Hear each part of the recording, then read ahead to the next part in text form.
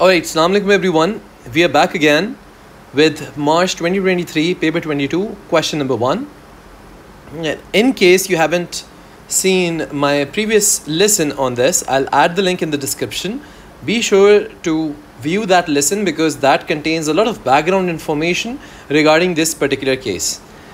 So, we have now part C and part D and we are going to start off with part C analyze two non-financial motivators that FF could use to motivate its fruit pickers. And the same advice that I would give again is that when you're reading this question in the case in the case uh, study or your exam try to mention whatever non-financial motivators you can think of. For example team working worker participation change in leadership styles job redesigning whatever you can think of so that when you're reading the case, it's easier for you to apply. So, for example, I write about training.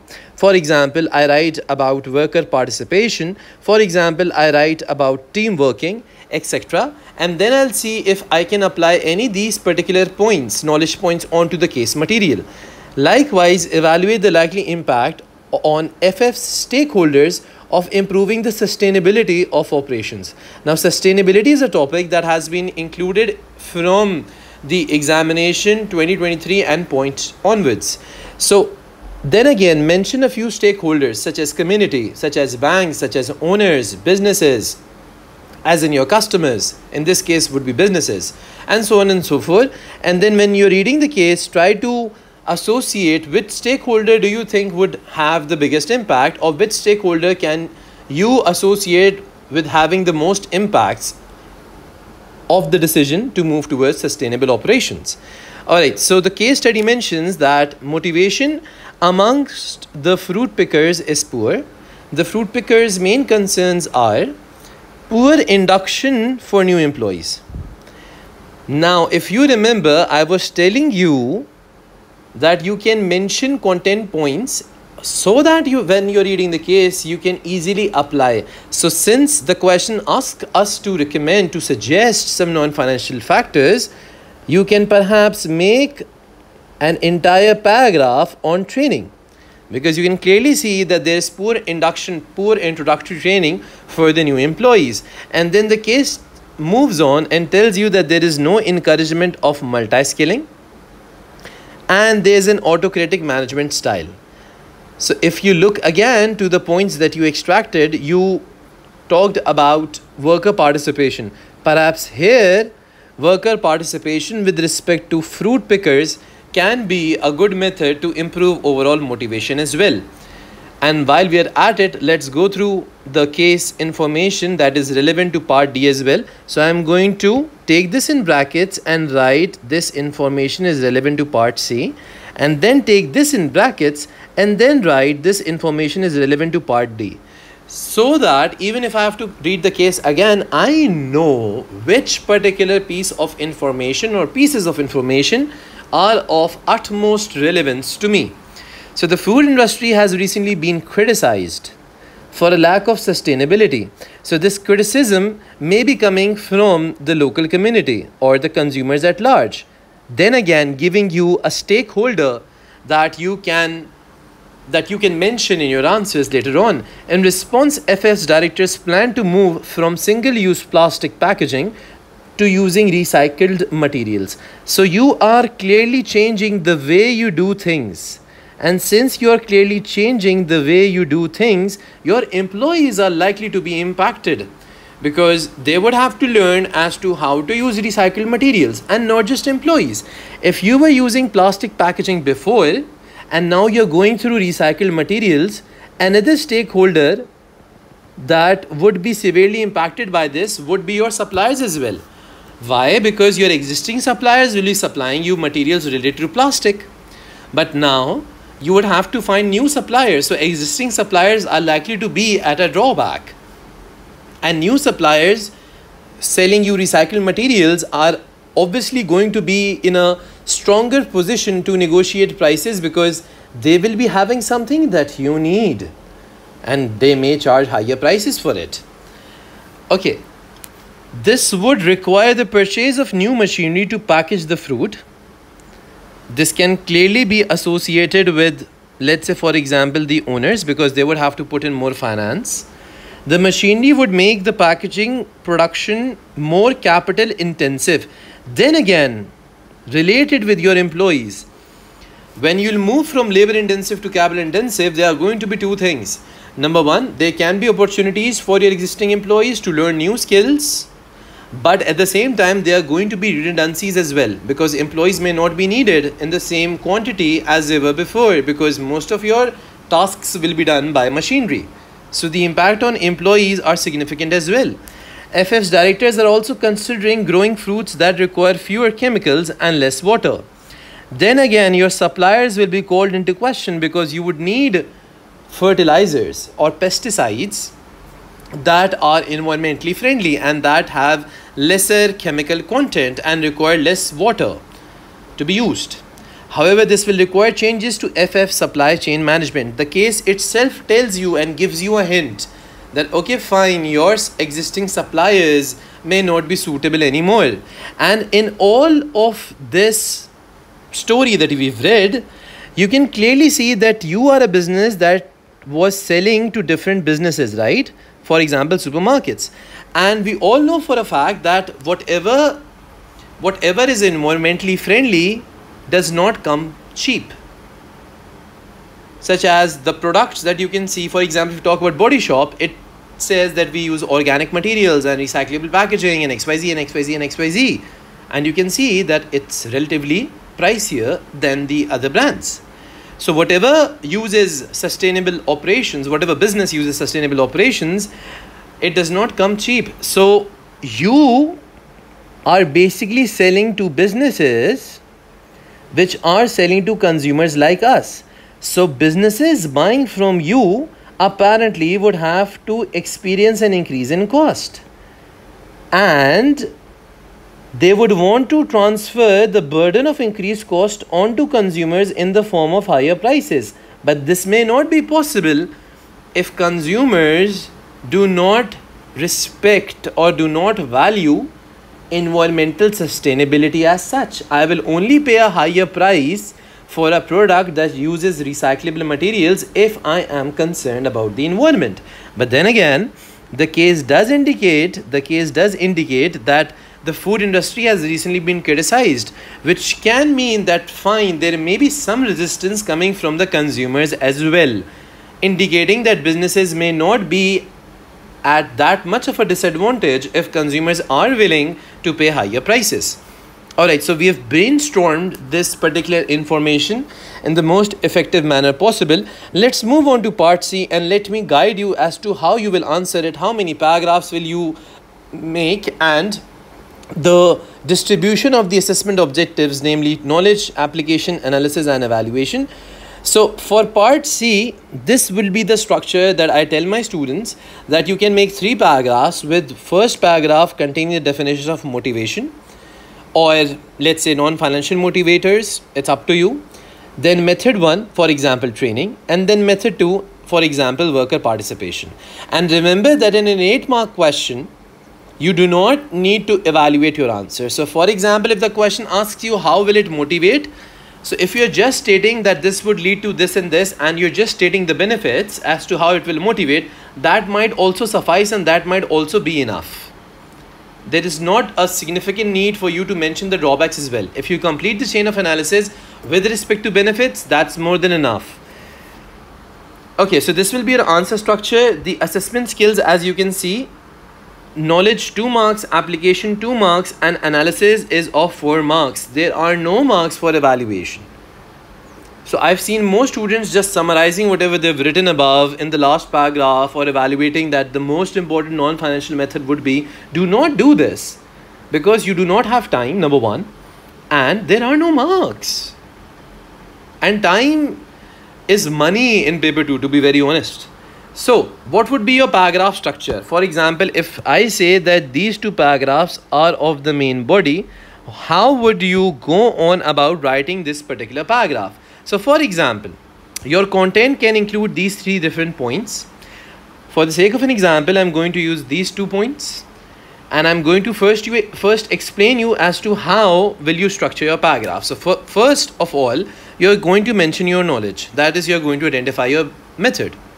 Then you talk about how would that method fit into the context of the business. So you your staff right now is are basically fruit pickers, right? So if you mention training or if you mention let's say worker participation, what would be the ideas that your fruit pickers might give you? What kind of discussions will you have with your fruit picking staff? That would be your application, right? Now, whatever you've mentioned here and related, to the business here, how would that improve the motivation of your staff? And once your staff motivation is improved, how would that be a benefit to the business? So, this is how you're going to structure the paragraph of the main body. And in order to facilitate you better, I have given an example as well. So, for example, let's say we start off with increased worker participation can be a way of motivating staff at FF. Okay. And now I'm going to relate it with the context of the business. And how do I relate it? I've mentioned that since workers are demotivated due to the autocratic management style application, their views can be taken regarding the best time to harvest application or the type of fertilizers to use. Then again, application. So I'm talking in context of the business. And even if, let's say, someone out there had my answer and was going through my answer and he did not know and he has not read the material of the data response, he has not read the insert and he just reads my answer. So from here till here, he can easily identify, she can easily identify what is the business in the data response that is application because the moment he reads or she reads harvest fertilizers he or she can clearly make a sense okay fine this is a farming business. So this is what application means. Now for the third step how would this motivate staff? So this will make staff feel more valued as their opinions will be considered and will work hard to make ff successful. And how would the employee working hard or employee being motivated be a benefit to FF. Staff is less likely to get absent, which would result in higher productivity for FF, making it more efficient. Or you can also write that staff is le less likely to make mistakes in their work because they'll be more motivated, which will result in less wastages, thereby increasing profits. So you can develop the last chain of analysis as per your own discretion. And just to make sure that you have understood the answering detail, I'm going to leave you with an exercise. This is another method that is induction training. You have the case with you. Write in the comments as to how will you develop the entire chain of analysis when it comes to this point. And I have done two stages of this particular paragraph. Let me know in the comments what would your stance be. Alright. So let's move on to part D. Let's read the question once again. Evaluate the likely impact on FF stakeholders. Mind you students that the focus of analysis, the focus of analysis is not on FF. So do not commit this blunder.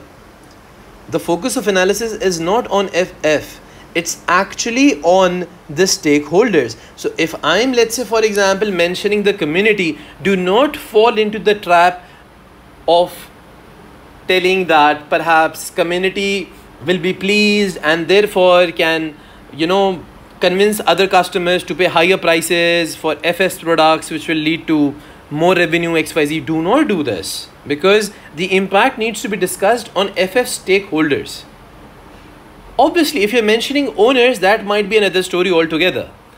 But then again, if you're mentioning other stakeholders, such as, let's say, for example, other businesses, or you're mentioning suppliers, then you have to stick to the particular stakeholder that you're talking about because that is your focus of analysis on improving the sustainability of operations.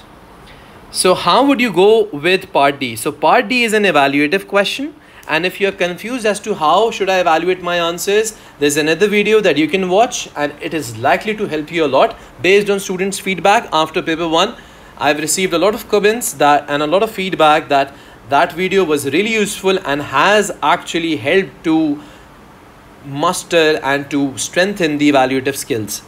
So we have knowledge for 2 marks, application for 2 marks, analysis for 2 marks and evaluation for 6 marks.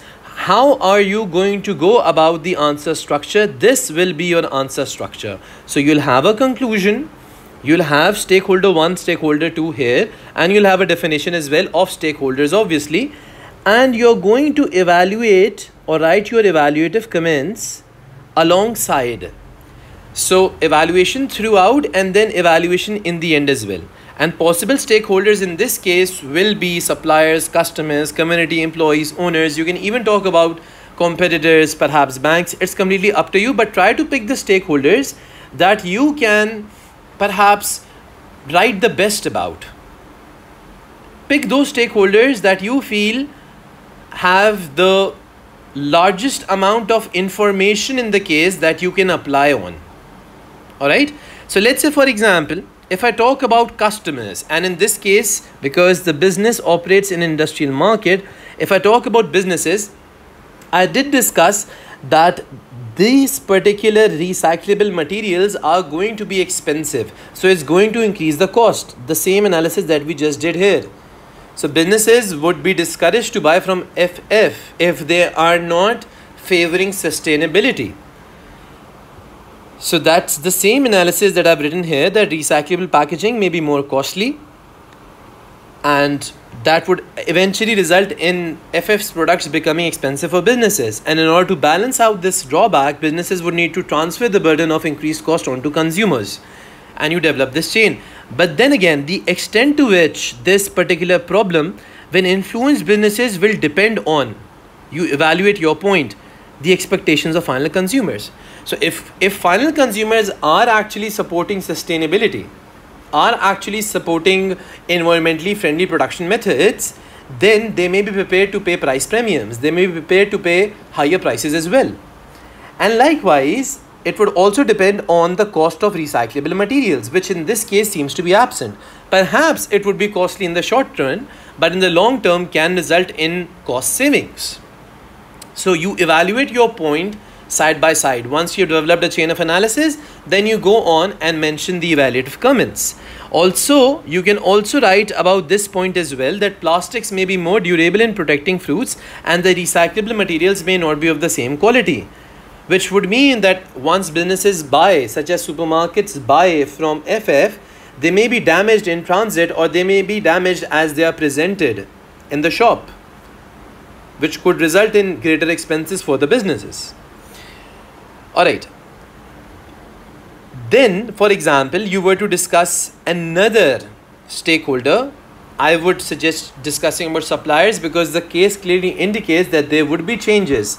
Case clearly indicates that there will be changes to FF supply chain management. So how would you go on, on with your suppliers? You're going to use the same points that were discussed in the earlier section of this particular lesson so you your existing suppliers would be in trouble. And why would they be in trouble? Because they may not be having sustainable materials to supply you with. So it's going to damage relations. And not only that you're going to find new suppliers. Since you need to change your supply chain. And new suppliers may quote higher prices because they know that they're selling you something that's more sustainable